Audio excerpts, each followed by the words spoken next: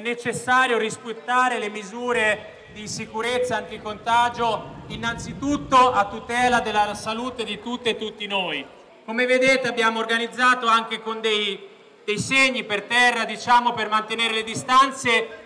Invito tutti ad allargarvi sull'intero piazzale e non stare alla distanza inferiore di un metro.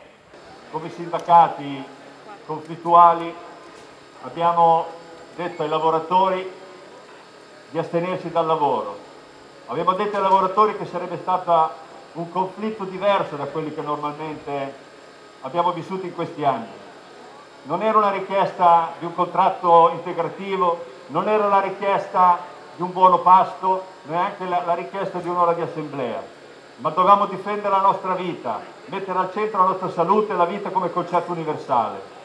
Sulla scuola non c'è un'idea e non ci sono soldi, quindi seconda cosa bisogna che ci danno i soldi, che danno i soldi per ripensare completamente la scuola. E una scuola di comunità fatta insieme alle tante tante realtà che in questo momento possono dare una risposta alla crisi, ma tutto questo non si vede, vergogna, noi lo sappiamo, i ragazzi e i bambini lo sanno meglio di noi e ve la faranno pagare.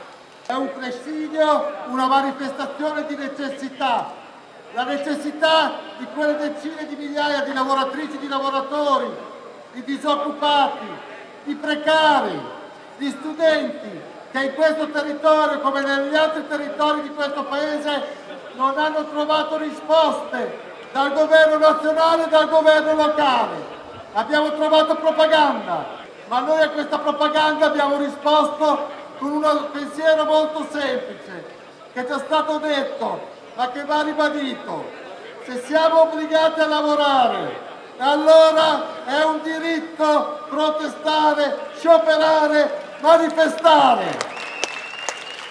Senza conflitto sindacale, senza conflitto sociale, la crisi saremo costretti a pagarla ancora noi, i lavoratori e i settori popolari. Ma noi questa crisi non la paghiamo, non è più uno slogan degli anni passati,